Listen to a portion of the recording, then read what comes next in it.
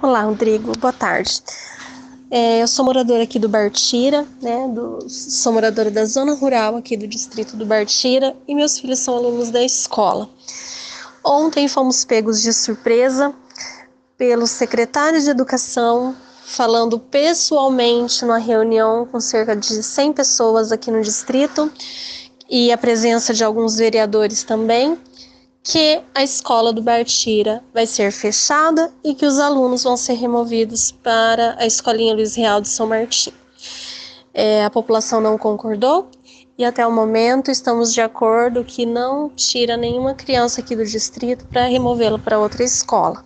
Estamos fazendo um abaixo assinado e contando com o bom senso né, do prefeito, da administração, para voltar atrás nessa atitude, nessa decisão porque em nenhum momento a comunidade foi avisada, foi conversado a respeito do fechamento da escola. Então, assim, falaram, enfiaram goela abaixo isso da gente e a gente não vai aceitar. Principalmente durante o ano letivo, não se tira a criança de uma sala de aula assim, às pressas, no meio do ano. Então, assim, estamos torcendo para que isso se resolva e que nada disso aconteça. Rodrigo, olha, eu não aguentei nem ver o vídeo até o final. Cara, ele vem falar que é importante a socialização das nossas crianças. Falar que aqui. Olha, assim, eu tô, tô, tô revoltada. A população tá revoltada. E isso aí é, é, não é vitória nenhuma. A gente apenas ganhou um pouco mais de tempo para né? Não, vamos terminar pelo menos o ano letivo, no mínimo, né? Mas esse anúncio oficial que ano que vem a escola já não funciona aqui e que as crianças vão ser remanejadas, isso é ridículo.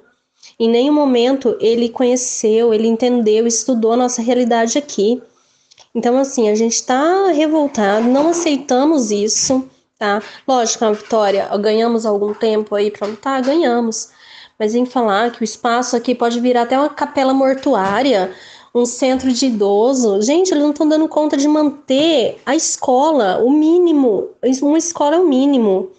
Não é sala de informática, a gente quer uma escola. Então, assim, estamos revoltadíssimos com isso. Eu não, eu não consegui nem assistir a matéria até o final. Ridículo, ridículo.